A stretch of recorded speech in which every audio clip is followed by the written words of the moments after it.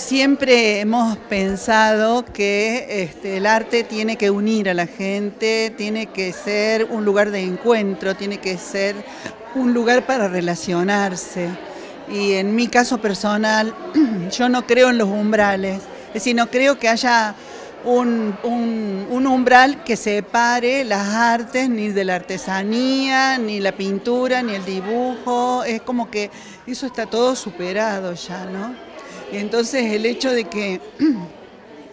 se haya logrado una exposición en este lugar y que simultáneamente el taller de la universidad esté trabajando también en el Museo Histórico Regional y que todas este, las salas de exposición estén en este momento en movimiento, es algo que invita, que educa, que este, llama a,